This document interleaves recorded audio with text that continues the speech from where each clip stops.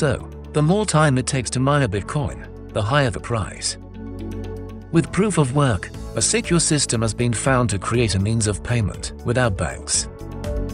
Each node independently verifies each and every transaction against a long list of criteria, including tracking the source of the digital money being spent, checking for double spending of the same money, checking if the total transaction volume is within the allowed range of 0 to 21 million Bitcoin. No matter what currency or coin is created, everything is built on trust.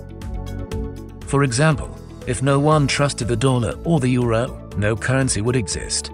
We all know these currencies are just paper. Minebase uses the existing crypto network with a smart contract. The smart contract is visible to everyone and thus ensures that nobody can manipulate anything. This means that Minebase has completely solved the problem of security. The difference between the Bitcoin mining process and the Minebase CTP system is that today we can use the entire crypto network to create the Minebase token.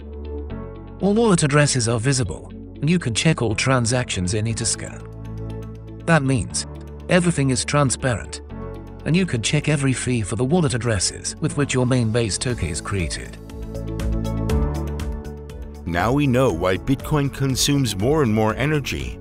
The more blocks that are created, the longer it takes to produce one Bitcoin.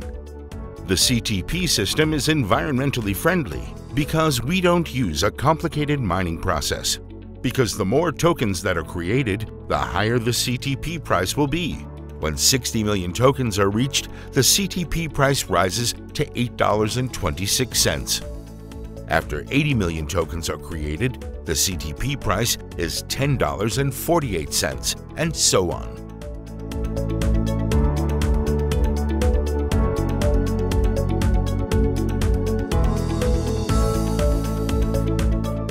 Of course, you can't compare the two processes, but the goal is the same.